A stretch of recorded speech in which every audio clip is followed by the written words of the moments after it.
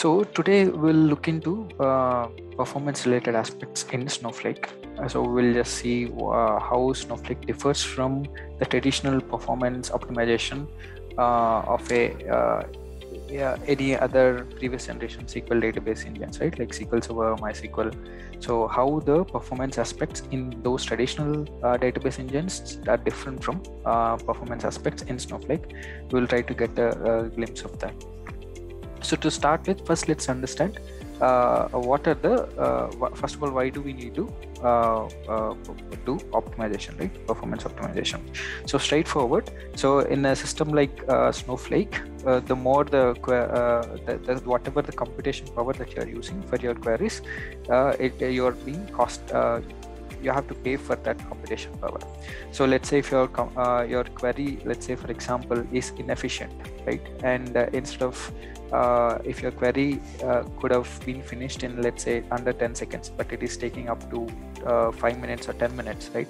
So you're using additional computation power because of those inefficiencies and that will lead to uh, extra costs which could have been saved. So imagine uh, this at an enterprise level. So when there are uh, numerous uh, employees who are working and uh, each employee making his or her own uh, a number of queries and imagine uh, not only the queries that come from the employees like uh, or, or, or, the users right? But there will be a lot of automated queries as well. So a, a developer can just uh, create some queries and they, they will put these queries into automation to run every day. So if these queries that are running every day they keep adding each day as the developer develops more and more queries. If they are inefficient right? Your uh, this uh, inefficient cost due to these inefficiencies will skyrocket right? So because of all those reasons it is very important to optimize your queries when especially when you're uh, uh, dealing with a cloud environment like snowflake. So we will uh, look at the same thing today. How can we make the queries efficient and how can we optimize the performance? So that is number one. And first let's take a look at uh, how do we normally uh, optimize performance in a traditional uh, SQL database engine systems, right? So like MySQL or SQL Server, these sort of systems. So one of the main uh, things that you may may be already familiar with is adding indexes, right? So adding indexes and primary keys. So this I'll I'll not go in detail into all these things. We'll cover uh, today only related to Snowflake, but I'll give you a glimpse of what these means are.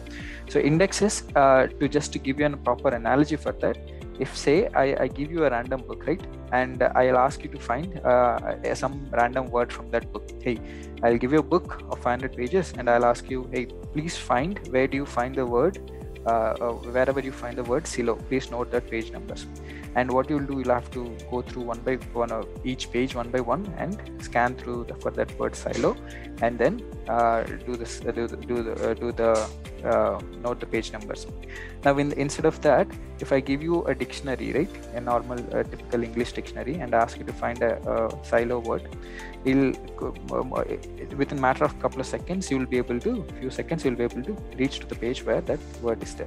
Only because of what's the difference between the normal book and index because of they are arranged in a certain manner that allows you to go there quickly and this is exactly what indexes uh, uh, will do to a uh, tables in a SQL database engine. So uh, SQL database engine will make use of these indexes that you created on tables and will know uh, when you write a query on that table will make use of these indexes to get to the right data as quickly as possible. So that is the concept of indexes that we can normally use. Primary keys, they, they are not directly uh, uh, uh, involved in creating uh, uh, performance optimization. Their main uh, objective is something different but they indirectly uh, add to performance optimization as well.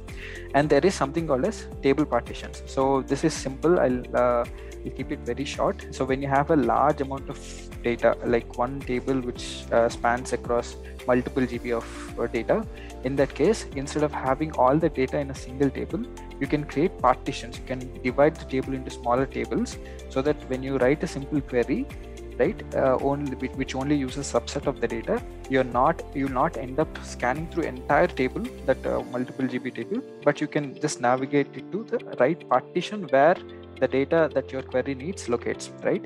So the amount of uh, data that your eventual eventually the database engine scans will be reduced. So this is another technique that people normally use uh, creating table partitions. And there is something called as uh, query execution plan okay? We'll talk about uh, uh, this uh, so so every database engine will come with a, something called as optimizer okay? This is not something that happens in the backend. This tool works in the backend. So what this optimizer does is it's very simple. Once you write a query and submit it to execute it, optimizer looks into this query. First checks for any uh, validation errors. So sometimes you will get hey in this line in this character this, this, this is an error or i didn't understand this. So that is uh, as a result of the optimizer validating the query. Once uh, optimizer validates the query then uh, in, within the uh, query that you have wrote it will find out what is the best possible way uh, uh, I for, for me to execute this query that was submitted right? That is the function of the optimizer. Now uh, now optimizer will give you once it uh, analyzes if you ask the optimizer it will also give you hey what is what are the steps that are involved in this query executions? Which step did execute did it execute optimizer execute first? When which step did it execute last? So all the plan can be retrieved uh, uh, from a, any SQL database engine. So you can analyze this query execution plan and you can optimize your query accordingly. Uh, should let's say a typical example would be, let's say you're dealing with some big table okay and you're performing some uh, transformations or, or, making some additional columns and uh, it, it, sometimes it will happen if you uh, perform the transformations at the very beginning of your query right? Very at the if it's happening at the very first stage and it'll it if the transformation is generating a lot of more data okay? If your table has 10 columns but your transformations you are generating let's say uh, 15 more columns right? And uh, of these 15 columns if there are uh, and this is the first step you're generating the in the first step itself you're generating 15 more columns. And uh, if there are 10 more steps you have to carry this additional data which was generated 15 more columns through, all the next 10 steps. So that is a lot of data you are putting uh, uh, you have to retain it throughout all the steps. So there could be a better way that you may you may have to uh, first uh, finish up all the steps that don't require this data and then introduce these transformations at the right step so that it will be a little more optimal. So these kind of analysis can be done from the query execution plan. And there is something called as table scans. So a, a table scan is nothing but a, a, a situation where uh, your query will have to read each and every single row in your table so that is called a full table scan. Sometimes it may not be full sometimes it, will also be a partial table scan depending upon the query. So some of these table scans will happen with a purpose and they are fine completely fine to allow such a table scans. But some of these table scans will happen unintentionally and which are not, completely not needed or can be avoided. Uh, whenever a table scan happens since it has to read every single row in the data data data table it will obviously read up and read, uh, uh, capture more computation power.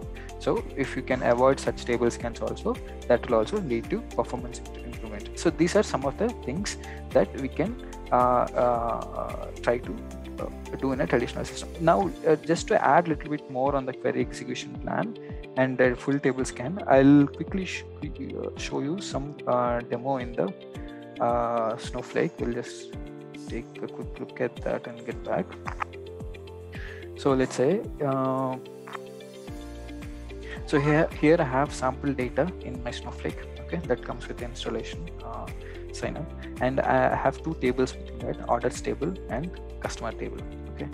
And uh, what i'm doing here is i have just created join between these two tables with this two filters on a particular country and a particular market segment.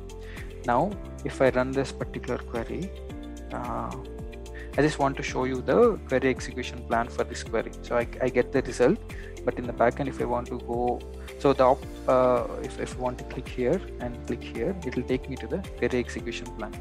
So currently, okay, uh, it's coming from the catch results. Okay, let me rerun it or change the change this to seven.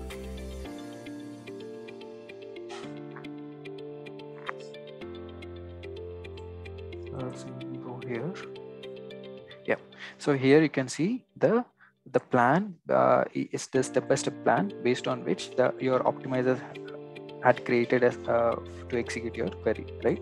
So initially it has done two table scans the two, two tables which were involving and then for, for, on each of those things. Whatever the filters or join criteria that we have created it is applied those things. And the finally the result. And we can see on the top right hand side uh, we can see the table scans. These are the most expensive of all the steps that were performed right?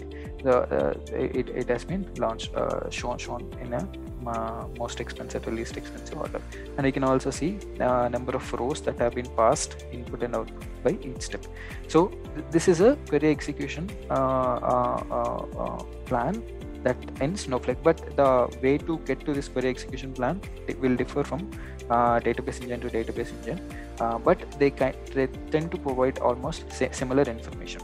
Okay, so here in this case we have written a simple query, and we can see the, there are two table scans, and the, in this case these two table scans are necessary for us to get the output. But when you write a, a query which is multiple pages and very large queries involving multiple tables and transformations, there is a chance sometimes unnecessary table scans could be uh, involved in your query plan. So when you come here and look at each table scan, uh, this query execution plan, you'll be able to see which table scans are necessary and which table scans can be avoided. So then you modify your query accordingly and avoid the unnecessary table scans, thereby reducing the uh, uh improving the query performance. So this is the uh, one uh, aspect of it. So now let me go back to worksheet and uh, if I uh, do some group by element of it and uh, on the same thing and this will have its own uh, query plan. Yeah so, so, this is also currently resulting. I, I, just ran the query previously before coming so therefore uh, it is just instead of running it again it is taking directly from the cache memory. Anyways so you, you get the point. So let's go back to our presentation and uh, yeah so this is the traditional ways and now let's come back to a performance aspect in Snowflake. So one of the interesting aspect of Snowflake is that uh, all these things that we have normally have to do in a traditional database, uh, you don't have to do that in Snowflake. The reason for that is uh, these things are automatically done by Snowflake for us. So normally these things are typically managed and done by database administrator. This is the job of a database administrator. But in Snowflake, uh, all these things are automatically taken care of and you don't have to worry about these things. Except for the query execution plan there you can uh, uh, uh contribute a little okay? Uh, look at and analyze. Now if those things are taken care of there are few other aspects that comes on that applies to a snowflake sort of an environment. Uh, where it'll we can use these aspects to improve performance even a little little bit more so we'll go through uh, each there are five main aspects. We'll cover these things in, in a very brief manner. The first is called creating a virtual warehouse. So virtual warehouse is nothing but a compute resource right? How much computation power do you want? Uh, uh, whatever the computation power that you purchase is called a virtual warehouse. And uh, the first option is creating a dedicated virtual warehouse. So we'll go uh, we'll go into each of these things uh, uh, in, in detail. And the second option is called scaling up. Third scaling out uh, and there is something called as uh, snowflake as we just saw the snowflake use caching mechanism feature right? So we can use that caching ability or feature of snowflake to maximize performance. We'll see how we can do that. And there is something called as clustering uh, or cluster keys. We'll see using how each of these five aspects how we can improve performance a little in snowflake. So the first to start with a dedicated virtual warehouse so think of a system like this. In the center you have a database okay? The core database where you all your data is stored. And each of these uh, uh, the processor symbol that you see is a virtual warehouse okay? And in an organization if you have a database there are different roles like database administrator there are bi and uh, reporting analyst and there could be marketing people there could be data scientists there could be different roles and the activities and tasks of these different roles will differ from each other and the comput- amount of computation power these people require will also differ from each other, each other. So instead of creating one virtual warehouse for all of them and all of their tasks, we can go ahead and create multiple warehouses with the warehouse properties according to the needs of that particular role. So let's say, for example, uh, data scientists they will do some uh, pretty uh, complex modeling related aspects right in that case they would need more computation power than people who are involved in BI, who will just maybe read the data and show it to into convert into visualization, right? So that's why a warehouse for data, designed for data scientists will have more computation power when compared to people uh, who are in BI or database administrators. And likewise, you can uh, so, so there will be some cases where uh, uh, uh ETL and EL uh, data loading related aspects those also come under BI, but sometimes they will be heavy, sometimes they will not be heavy. So you have to really understand what are each role and that role related activities and then create the warehouses accordingly. So this is one uh, better way we can uh, uh, say uh, that, that, that can help you optimize your performance. So so that these people don't feel lag or uh, if you give, if you give the same high computation powers to all the less load that is required then you are causing inefficiencies and that will lead to costs. So this is one of the approach that you can follow. And second there is something called as scaling up and down.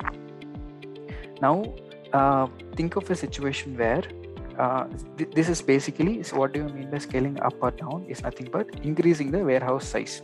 Okay? If your computation power you have uh, uh, uh if you have taken for small okay in, in snowflake terminology compression power comes in different sizes extra small small medium etc let's say if you have taken compression power of warehouse of small size then uh, you can change this up or down. Either you can go to medium or extra small depending upon the workload.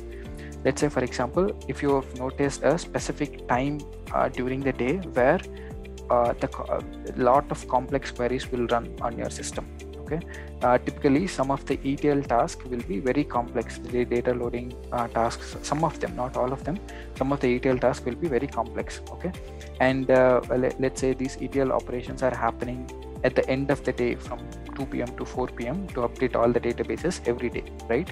And these are very complex operations. If uh, if they are very complex operations, then you can set up, hey, during this time, just uh, change my data uh, base data virtual warehouse size from small to medium or medium to extra large. Therefore these ETL operations are performed without any interruption and they are, performed quickly without any inefficiencies right? So this is what is called scaling up and down. And once those operations are performed you can scale them down accordingly for a normal usage right? So uh, and keep in mind there is a term called scaling up. This is what we call as scaling up and this is normally used for query complexity uh, and not uh, when there are more number of users. That's a completely different thing okay? And when we have let's say more number of using during the time okay? Let's say uh, early morning office hours let's say all people are logging in your database and then at simultaneously multiple people are querying lot of queries. In that case you have to do something called as scaling out. So here you're not increasing the size of the warehouse but you are increasing the number of warehouses. This is called scaling out. Uh, here instead of, uh, we have a warehouse called uh, size S uh, of size S, and instead of increasing the size S to medium or extra large, we are increasing the number of size S warehouses. They, and this sort of uh, option scaling out will enable when there are more concurrent users who are uh, querying your database at a time. So this is a third option which we can use and this option is not uh, uh, uh, some uh, is one of the important features of uh, snowflake is that this can be automatically taken care of. So you don't have to do anything at all. This can be automatically taken. You just have to set up hey uh, in this warehouse there, there is something called as multi-clustering warehouse. This is a specific type of warehouse that you can create and set up. Hey the minimum number of clusters that can, this warehouse can have is one and maximum it can go up until is 10 so depending upon the traffic or number of users that are querying on that warehouse, Snowflake will dynamically activate more more uh, uh, uh, warehouses up until 10, and it will automatically uh, scale down, uh, uh, turn off the cluster nodes if they are not used for at least some five to 10 minutes of time so this is automatically taken care of without any manual intervention. So this is one of the key selling points of snowflake why it, became very popular. So uh, and then there so this is a quick difference between scaling up and scaling out. We scale up that is increasing the virtual warehouse size when there is a more complex query to solve. We scale out we increase the number of virtual warehouse when there are more concurrent queries or users uh, working at a parallel time. So the quick difference there remember. And finally there is something called as uh, finally but yeah something called as caching caching. We have just seen uh, how when i run a query it is resulting the data from a, a cached memory right? So uh, what uh, this is also done automatically in snowflake. So if two people if you have run a query at least two times that query results are saved in snowflake for about a time period of 24 hours okay? And uh, uh, either that or if if if that in underlying data for that query is changed then automatically snowflake will recognize that with the help of metadata and it will know when should when it should return a cached result or when it should run a, a query once again which when it should not result from a cached result. So it will check uh, if the data changed then it will rerun the query or else it will save the uh, cached results for 24 hours. And after that it will rerun the query again. So this is this is caching is also done automatically by uh, snowflake. But what you can do is we can make use of this feature to maximize the uh, benefits that we get from this caching. Uh, let's say for example uh, early morning uh, all people uh, employees come to your office and all of them because of some reason they run the same query for uh, in order to get updated on some information okay? And what you can try to do there is uh, uh, you can put all those people to query from a single warehouse okay? And a single warehouse that way whoever the person first executes that query only then that query will be executed uh, in reality and it will take that uh, whatever the query uh, takes let's say it take some two minutes okay? Only during the first time it will take two minutes but every other person when they come and execute that query after that it will not take two minutes it will just take near one second or two seconds and result the cache results. That way uh, you can save a lot of computation power. You don't have to uh, execute it uh, uh for every person or every, every time they run the execute query right? This is a very important case and uh, and currently in our one of our clients they use something called as looker okay? And looker and we have created multiple dashboards on this looker. And this it's a bi tool. This looker connects to snowflake for accessing the data now every day a lot of people there is a dashboard called company kpi dashboard. A lot of users from the company come to this dashboard and refresh the dashboard okay? And this is a very heavy dashboard very big dashboard. And uh, uh, you can uh, uh see when a lot of people come and use this uh, dashboard this caching can be very helpful there. So it will not refresh the dashboard every time a person can come and uh, uh, so let, let's say if it takes five minutes to refresh the dashboard it will be very time saving uh, using this caching techniques. So that is one way you can improve the performance. And finally there is something called as cluster uh, cluster data clustering and cluster keys. So uh, let's uh, quickly understand something about these cluster keys and then come back to these points okay. So here uh, we're in the snowflake documentation. If you see on the left hand side this is a typical data. Let's let's take this is a uh, some sample data that you have data table four columns and some n number of rows. And on the fourth column we have the month field uh, year and month field uh, or uh, yeah date field. And uh, so snowflake uh, does something called as a micro partition so what it does is we have earlier seen right? Uh, creating table partitions is one of the good ways to uh, improve the performance right? And snowflake does that with the concept called micro partitions so your entire table will be split up into smaller segments and each of these segment is called micro partition and and some part of the data will go into each micro partition now data clustering comes into play. Let's say for example on the top uh, if I okay let's go to another example. Uh, yeah here the same same case but uh, uh, better suited for example yeah. So if you see in this micro partition if i ask you to uh, give me the data uh, hold on. Yeah give me the data related to all the give me all the rows where my date field is 11 2 okay what you have to do is even though you have created these multiple partitions snowflake has no choice but to scan each and every partition uh, to look for that data. We can see this one uh, 11 2 is lying everywhere across. It it doesn't know uh, uh, uh, which partition to skip or which partition to read. It has to by all means go through all the partitions specifically looking for that uh, date. Now this is where data clustering comes into picture okay? What clustering does is it will sort the micro partitions in such a way uh, let's say for example in at the bottom after uh, clustering what it will do is it will sort based on a certain column here in this case date. So all the uh, same dates are put first. So 11 2 all of them are occupied in the first two partitions and then it will go 11 3 11, uh, and then 11 4 and 11 5 right? So this is called clustering. Uh, in in a, in a simple words just uh, sorting the data in these micro partitions based on a certain column. And this column whichever we use to sort is called cluster keys. And here if you have to ask the same query hey give me all the data uh, uh, where date belongs to 11 to snowflake immediately recognizes hey only these two partitions have 11 to data and uh, i don't have to read any other partitions outside this or at least the, uh, uh, the these two that doesn't have this 11 to data. So instead of reading all the micro partitions it will only read data from these two micro partitions and uh, will give you uh, uh, uh the required data.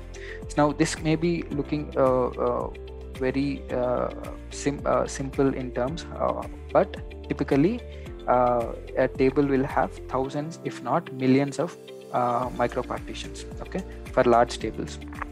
And when you have to uh, see the difference scanning millions of micro partitions and just a few of micro of those millions of partitions it will make a translate to a lot a lot of performance improvement uh, in getting the query results. So this is what we call a clustering and uh, uh cluster clustering and the column based on which we sort is called cluster keys. And uh, this this is micro partitioning three concepts in snowflake and uh, so this is what we do here. We have already explained what a cluster key is. And uh, clustering uh, yeah. so this snowflake there are a couple of things you need to keep in mind about snowflake, snowflake clustering. So this is also done automatically. You don't have to do anything. Uh, snowflake automatically when you load the data into a table it will cluster it uh, uh, based on a certain fields but what it doesn't know is where you need to intervene is that uh, it doesn't know which column you need to cluster it on okay? Uh, so what is the right column to cluster it on? What is the optimal column or cluster keys? That is where your expertise comes into play and you have to select the right columns or right cluster keys based on which snowflake should cluster. Once you have selected those columns all the clustering will happen automatically and there are a couple of things that we need to keep in mind. Let's say uh, once you have created a cluster keys it's not necessary that this cluster keys uh, uh, uh, we have seen that correct order in date right? In ascending order. That order might change when you keep loading more and more data on everyday basis into this table okay? There will be a lot more data coming in. There will be new partitions that will be created or maybe in the old partitions only some new data will be inserted so whatever it is this once you have clustered the table this clustering order may get inefficient when you keep loading more and more data in a in a certain while. So what you have to do oh, is that after a certain while you just have to recluster the table so that it's all, whatever the inefficiencies that have been uh, in, included because of the data loading activities all that will be uh, removed and it will be perfectly clustered back again so uh, so th that is about the data clustering which is a very powerful tool uh, uh, to uh, performance optimization. And how do we select what co columns we need to use as cluster keys? That comes from answering a simple questions like uh, whatever the columns that you frequently use in where filters okay under where clause those are the columns that becomes obvious choice first choice. Uh, if not that uh, not necessary you can have to uh, use one column only for cluster keys. We can use multiple columns in a single table uh, uh, and specify them to cluster based on those multiple columns number one. And if you are using certain columns that are frequently used in joining with other tables right uh, you can use those columns as well in your as clustering keys. Only thing to keep in mind is that not all the columns that specify the above uh, that uh, satisfy the above three conditions can be eligible uh, for clustering keys. Sometimes, let's say, for example, you have orders table and there is a column called order ID. Okay, and each order ID is unique and it's a hexacode uh, uh, uh, number that doesn't make any sense, right? Just for identification. If you take that and make it as a cluster key, it doesn't make any sense. Okay, it will not be able to uh, sort uh, it'll it'll definitely do the clustering but it will not result in any performance improvement right? So there is one thing that you need to check always is check the cardinality of the column that you're uh, making is uh, a cluster. Key cardinality is nothing but how many distinct values are there in that column right? So for a uh, order id field it will be uh, a very large number very large cardinality and that is not a uh, normally when there is a large cardinality or a very small cardinality they typically tend to be uh, less uh, effective to bring results through clustering. So for uh, for example if the small cardinality will be a gender field male and female okay? So there is only two values. If you cluster on that a snowflake will definitely do clustering on that but it will not yield in uh, uh, good performance improvements. So you need to keep all those things in mind and then choose the clustering key and then have to cluster the tables accordingly. See. Uh, yeah uh, yeah so i think uh, that would be all from my side. Uh, if you have any questions i can take them uh, else we can close the session.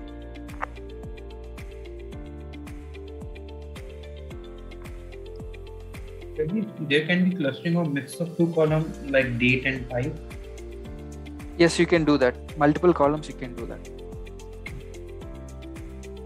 Not multiple column basically what i need to do hmm. i need to do a clustering uh, for a similar data type on similar data. What do you mean by similar data type? Like uh, if we take samples for store data huh. so for furniture all those furniture which are sold in same uh, the same month. Okay. So can we do a clustering that way? Like uh, merging two columns and then doing clustering okay okay. Yeah you can uh, definitely do that as well but you have to assess if it uh, it, it it's also depends upon the context or context. So if it uh, in your data is in such a way that it will result in good uh, performance improvements you can definitely do that. It, there, you will not find any issue. You can perform literally theoretically clustering on any column. Any column that you give you can do, do that but the question becomes is uh, is it yielding in uh, better performance results or not? So that will only you will only understand from uh, uh, seeing what kind of data are we dealing with or how big the table is etc uh, etc uh, but you can definitely do